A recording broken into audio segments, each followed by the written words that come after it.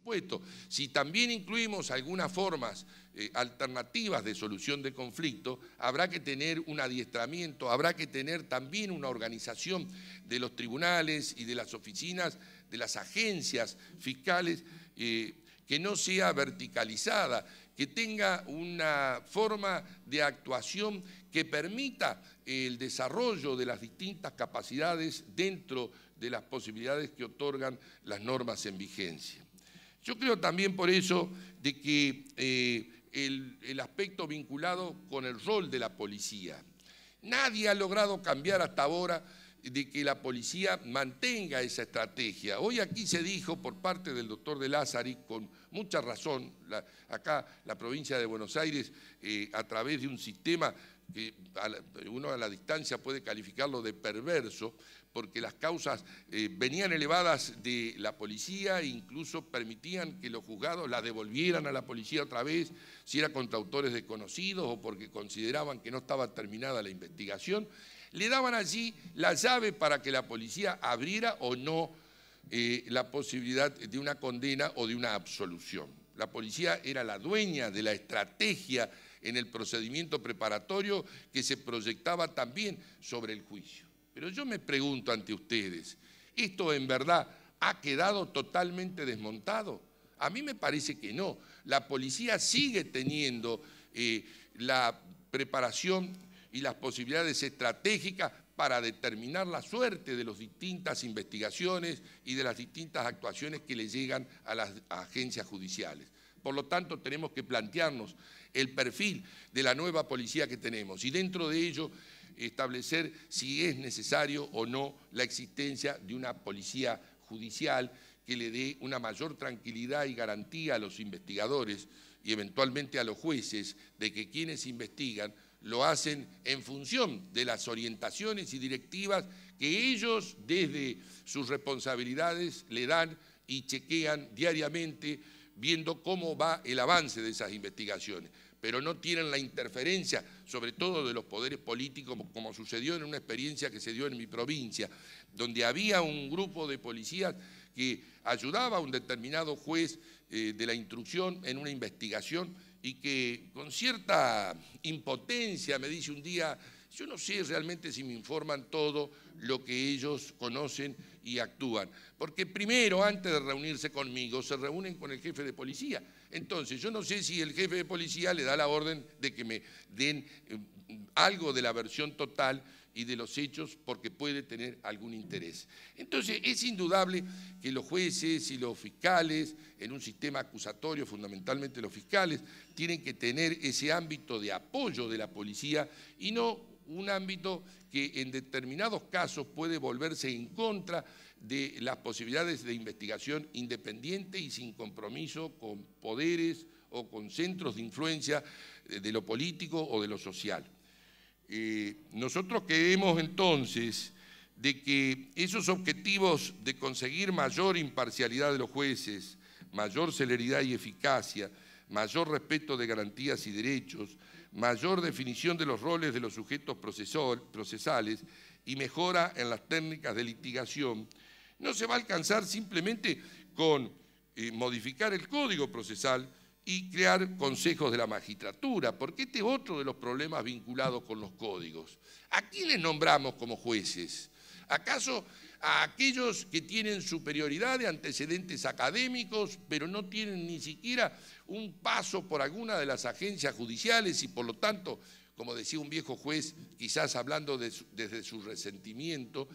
estos chicos que vienen ahora no tienen ningún tipo de experiencia en el manejo de las relaciones con la policía, en el manejo de las relaciones con las autoridades penitenciarias, etc. Entonces, ¿qué es lo que buscamos? La excelencia académica con una mirada y un pensamiento que le da mayores posibilidades a quienes eh, eh, alcancen eh, mejor preparación técnica o también exigimos dentro del perfil del juez ciertos comportamientos éticos, ciertos compromisos con la Constitución con los derechos humanos, cierta posibilidad de dirigir un grupo dentro de los juzgados o dentro de las agencias judiciales. Esto es notorio a veces, gente que tiene una capacidad técnica elevadísima, pero tiene un carácter o una forma de actuar que en lugar de coordinar las personas y las actividades, repele a todos y logra desunir a los grupos que venían trabajando unidos. Todo esto hay que tenerlo muy en cuenta y sobre todo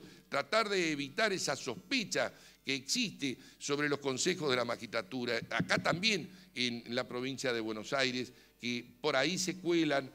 algunas afinidades amicales o políticas y no sé qué, utilizando eh, porque uno dice esto es una forma objetiva de examinar los exámenes, pero eh, algunos desconfían que eh, se puedan hasta conocer las preguntas o que hay algún tipo de influencia porque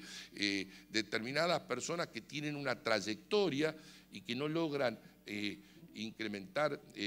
eh, su ascenso dentro de los escalafones de la justicia, del Ministerio Público, no consiguen éxito y otros que vienen de la calle de golpe ocupan cargos teniendo sobre sus espaldas a lo mejor el viento a favor de algunas relaciones políticas o con el poder. Todo esto hay que revisar, porque vuelvo a insistir, no es cuestión de instrumentar un Consejo de la Magistratura o poner un nuevo código o transformar las estructuras judiciales de un día para otro y los mismos que venían haciéndolo conforme a la mentalidad inquisitiva, se van a transformar en agentes del cambio. Esto no es así, no es un proceso simple de uno, dos, tres meses o de dos o tres normas que hay que corregir.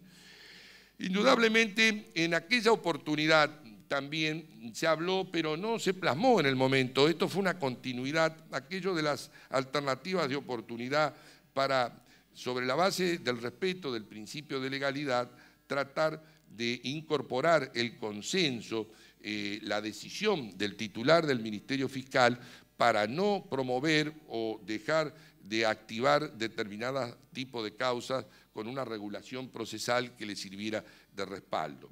Este aspecto es uno de los aspectos interesantes, cómo funcionaron la eh, Fiscalía acá, el ejemplo de La Plata, eh, no solo en ese aspecto, sino también en la protección de las víctimas. Es muy importante, yo creo, acá lo que se hizo en el código para rejerarquizar el protagonismo, que supere el hecho del respeto a la presencia, a la actividad de la víctima y para darle una funcionalidad efectiva dentro de la relación procesal que pueda ser tenida en cuenta para la solución del conflicto mismo. El otro aspecto que se preparó fue el de la investigación penal preparatoria, ya fue ponderada esta, con todas las deficiencias que puedan existir, es indudable que es uno de los grandes aciertos del código. Lo que debemos ver es lo que a través de los medios hemos podido apreciar en ciertos casos notables donde por ahí el juez, de la el juez de garantía aparecía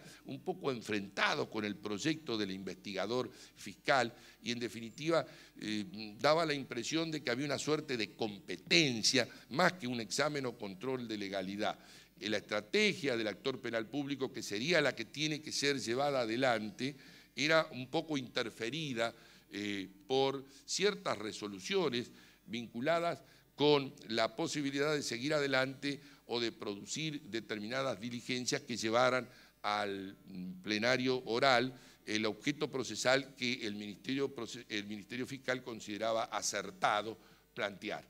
Esto eh, evidentemente fue el caso de, la señora eh, García Belsunce, el que produjo ahí una serie de desencuentros donde quedó graficado que en definitiva pareciera que por la normativa y por, fundamentalmente por la actividad que desarrollaban en función de la normativa los investigadores fiscales y el juez de garantías, no daba la impresión que uno controlaba y el otro activaba el procedimiento ejerciendo la acción respectiva, sino que había una suerte de competencia allí en las estrategias respectivas. La centralidad del juicio oral y público eh, yo creo que este fue uno de los objetivos. No sé si se logró en la medida en que eh, la demora eh, en que están inmersos los trámites procesales dentro de la provincia hace de que no se llegue en forma oportuna para poder producir la totalidad de la prueba esencial dentro de esos debates orales y públicos. Quizás en este aspecto haya que eh, también efectuar las modificaciones pertinentes, pero la idea fue recuperar esa centralidad del juicio como el momento más propicio, el momento donde hay paridad e igualdad de armas entre eh, el imputado y los acusadores y las otras partes que pueden actuar para eh, producir pruebas, para alegar y en definitiva hacer las postulaciones de sus respectivas pretensiones.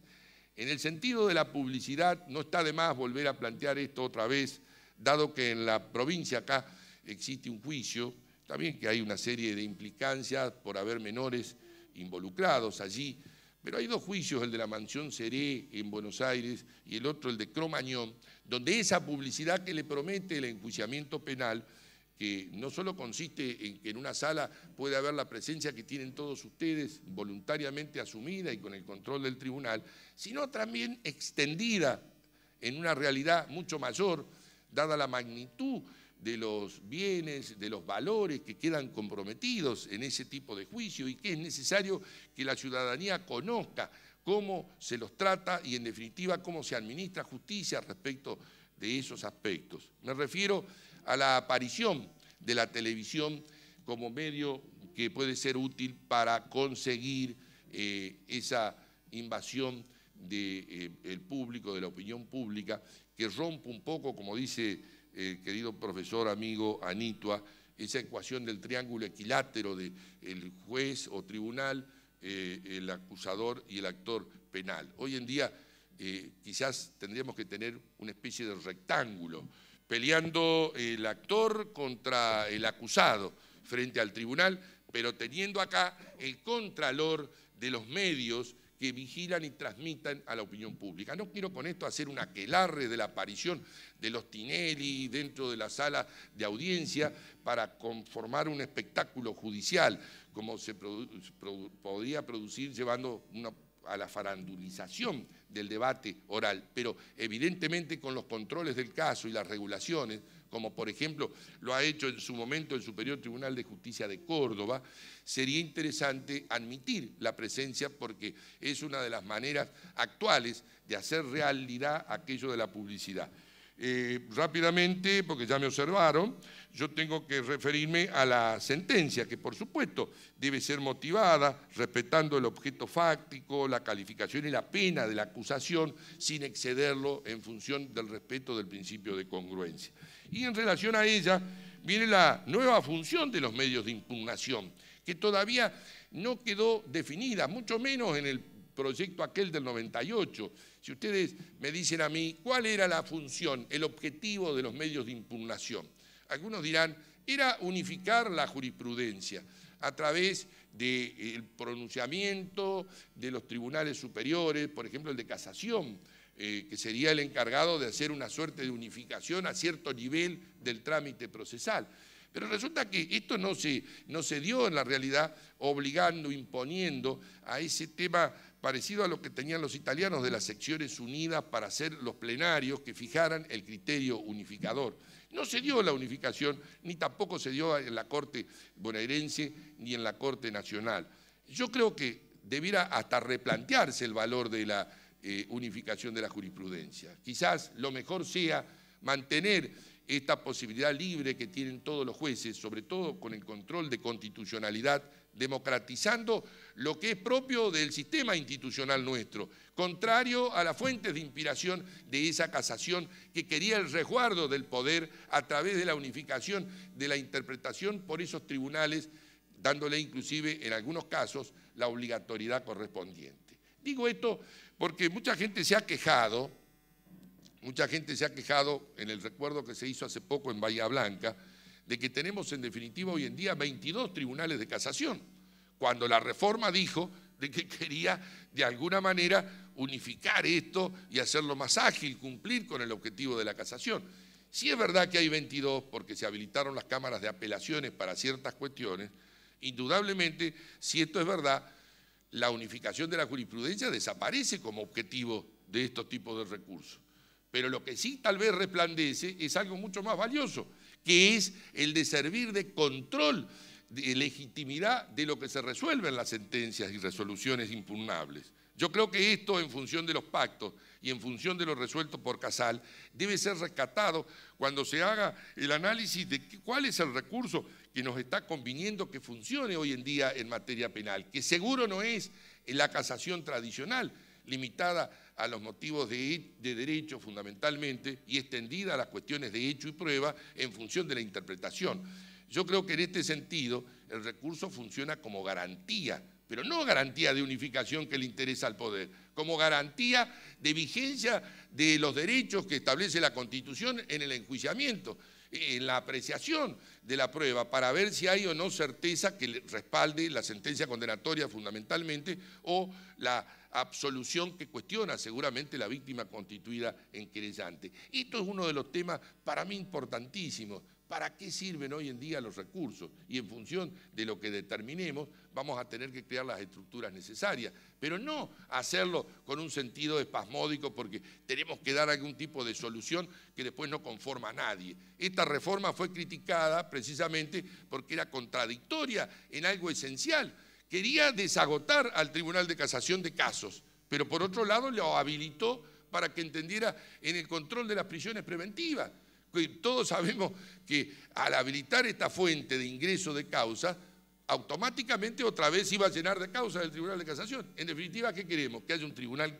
de Casación con capacidad libre para examinar los casos? Si esto es así, no tenemos que tolerar de que sea factible, de que entiendan los recursos eh, respecto de las resoluciones de la prisión preventiva. Eh, con respecto al control de la ejecución penal administrativa, la reforma introdujo o cabalgó sobre la actuación de los jueces de ejecución, que fue muy ponderado. No puede ser, como decía el distinguido colega Falcone, de que el derecho quede en las paredes o eh, a las puertas de las penitenciarías, porque se maneja con un criterio administrativo. El derecho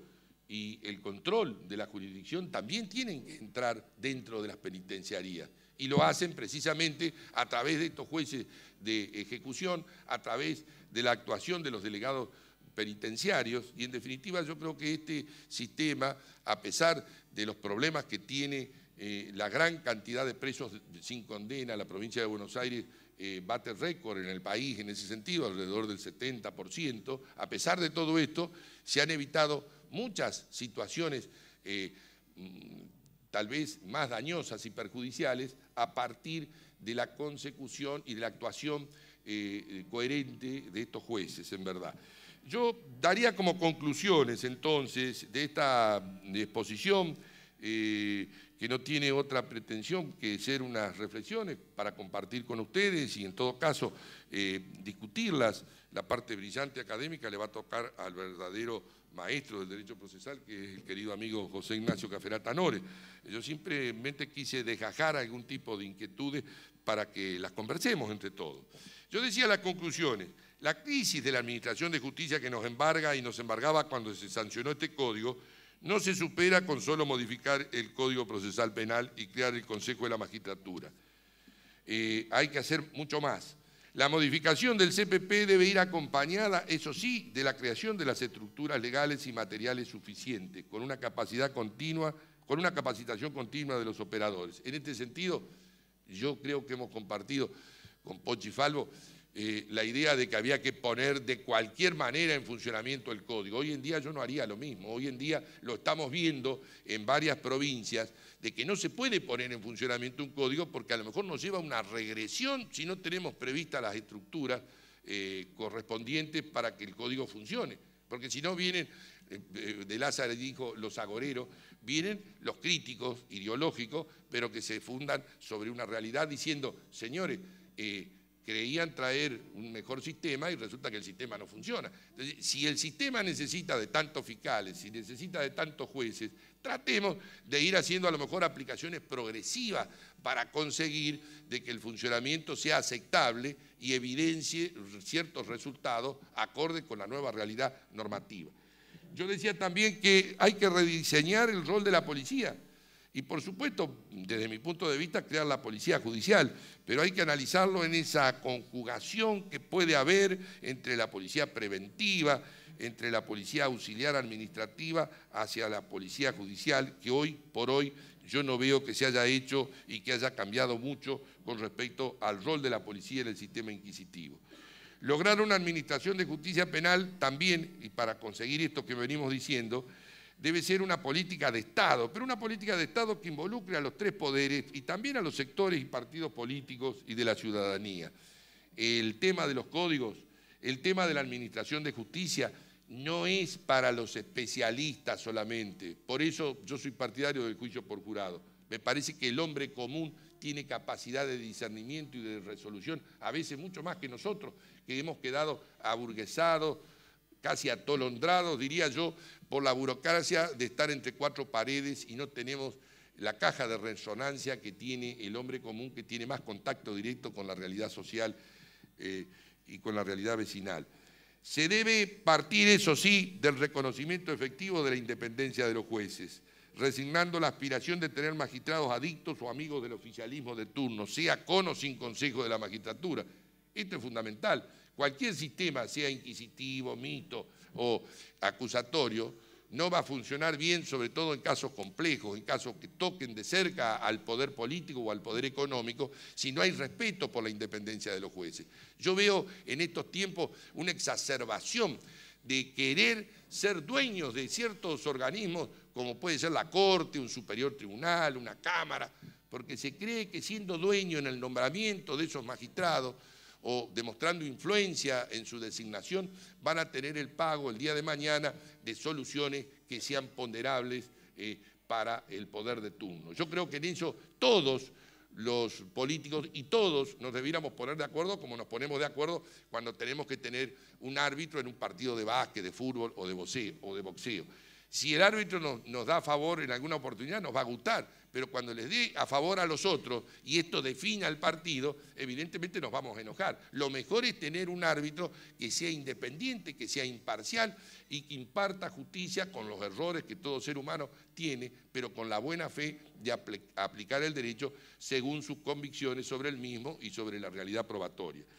Eh, yo creo que hay que rediseñar el perfil también de los jueces, funcionarios y empleados judiciales. No puede ser que algunos entren para quedarse poco tiempo porque les sirve de oropel para después eh, seguir ejerciendo la profesión que muchas veces no abandonan nunca mientras están en el cargo porque yo entro y no termino de, de entrar del todo y quedo con un pie afuera, ¿no es cierto? Por más que gane los concursos respectivos. El presupuesto judicial también, este es otro de los aspectos, no es que esté pregonando la autarquía, pero indudablemente el presupuesto judicial tiene que ser suficiente o bastante en esa planificación estratégica que se debe hacer desde el Poder Judicial respecto de las necesidades del fuero penal, en este caso, de las agencias fiscales o de las defensorías. En definitiva, yo pongo sobre la mesa estas consideraciones para el análisis que podemos hacer eh, con todos ustedes. No tienen ninguna pretensión de ser verdad revelada ni de ser lo mejor. Lo que sí tienen la pretensión es de contribuir en un momento tan grato como es el festejo que nos involucra a todos por los 10 años del Código. Muchas gracias.